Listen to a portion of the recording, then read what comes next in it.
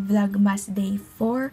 So, hindi ko alam kung hanggang saan ko makakaya to kung hanggang saan ako aabuti ng Vlogmas na ito. Pero ayun, this is going to be our Vlogmas Day 4.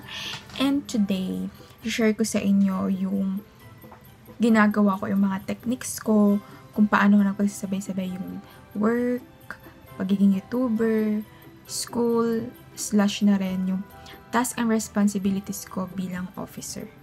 So, pagpasensya na rin guys yung pagmumukha ko kasi grabe.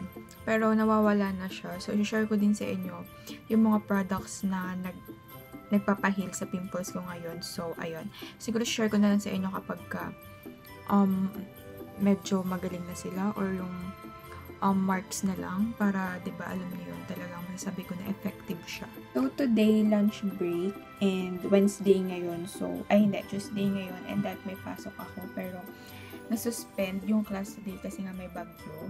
So, ayun, keep safe everyone if ever man na mapanood mo to and bumabagyo pa.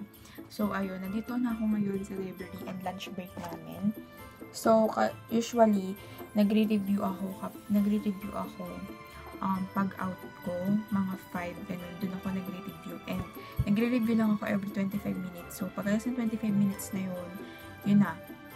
Tapos na yun. So, another 25 minutes naman. Siguro yung mga break ko is mga 1 hour ganyan, di ba?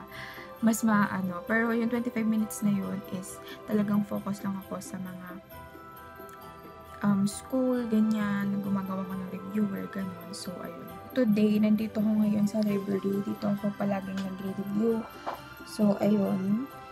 And, maulan ngayon. So, ang gagawin ko ngayon, puro ngayon, ang gagawin ko ngayon is maglilist ako ng gagawin ko kasi ganoon naman palagi yung ginagawa ko. Nililist ako muna lahat-lahat.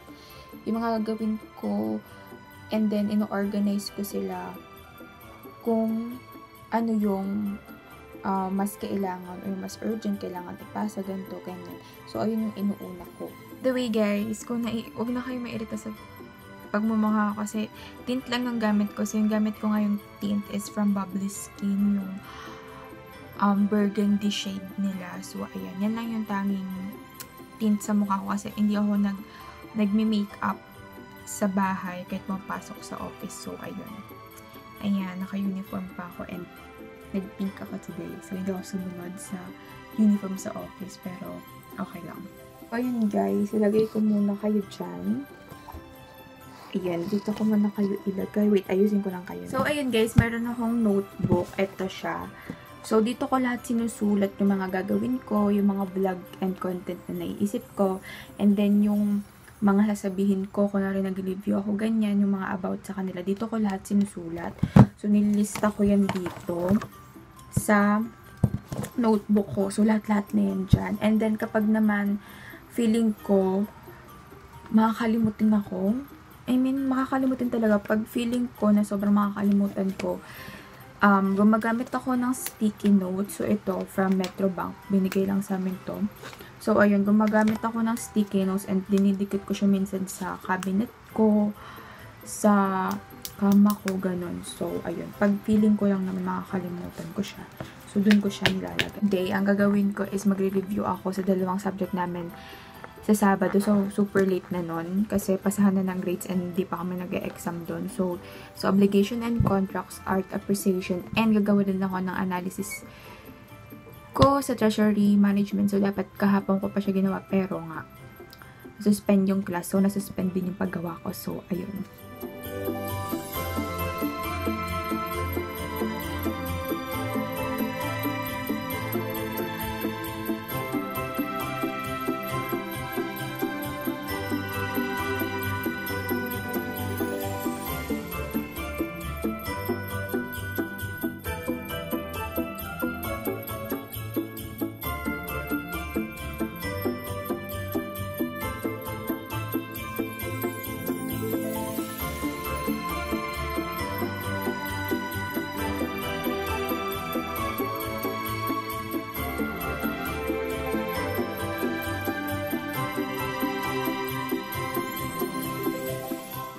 One eternity later.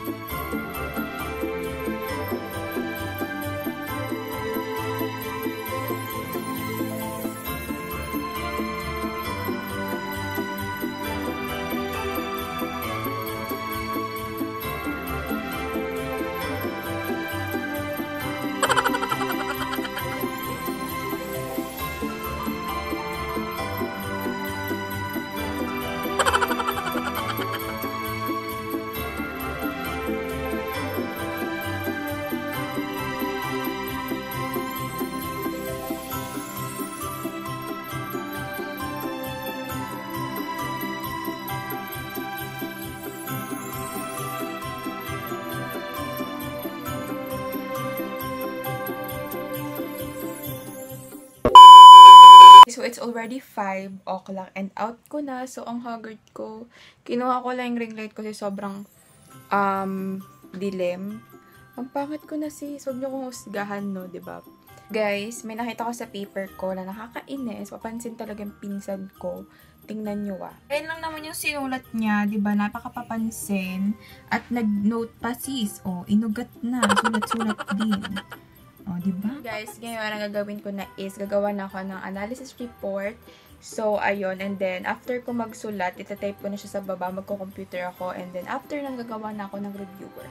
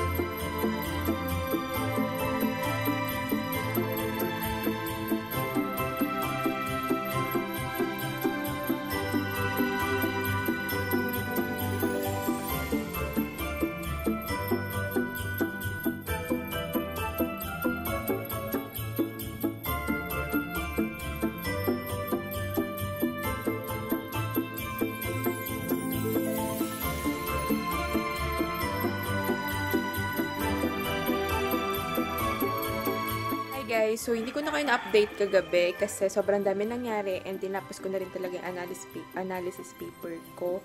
So, ayun. So, nanood din kasi ako ng volleyball SEA Games. So, hindi ko na um, wala na, tinamad na ako mag-vlog sis. Kasi, hmm, iba natalo tayo sa volleyball sis. Pero okay lang. Laban pa rin. So, ayun. So, ayun guys, sa end ko na siya dito. And I hope na na-share ko na sa inyo yung um, routine ko kahit na feeling ko hindi ko siya na-execute ng maayos. So, ayun lang naman guys. I hope na na-enjoy nyo itong video na to dahil na-enjoy ko siya. Thank you guys for watching and see you on the next one. Bye!